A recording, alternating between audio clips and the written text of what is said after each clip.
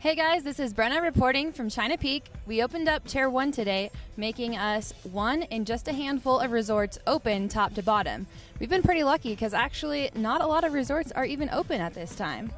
Today we have Jack Pieroni Demo Day.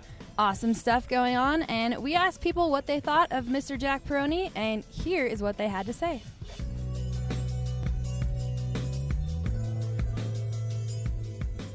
Well, he's one of the people that in this world that just has the knack that everybody trusts him, and when he said something, it was golden.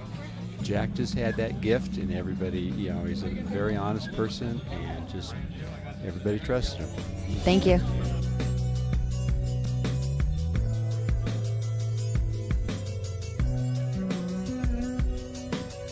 I met Mr. Pieroni when I was very young and ended up working with him for the last eight years. I learned everything you could learn about skiing. So, where do you work, David?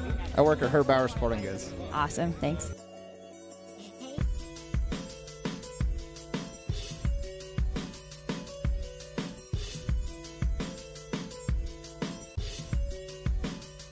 Let's hear your favorite Jack Pieroni story.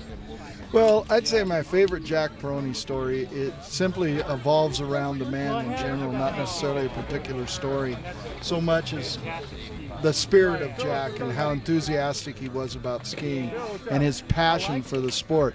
I don't think I ever came to a demo day, and I've been working for Rossignol for 35 years, no, worked with Jack for all 35 years, and I don't think I ever came to a demo day where Jack wasn't here talking to everybody. And the thing that always surprised me is the consumer would walk over and talk to me and ask me about the skis. And then they'd walk over to Jack and say, Is this okay for me to go out on? Because he had to grace and, and give his approval to everything that the customer do. And the customers became accustomed to always having his guidance. And so when somebody says, Who is Jack Pieroni?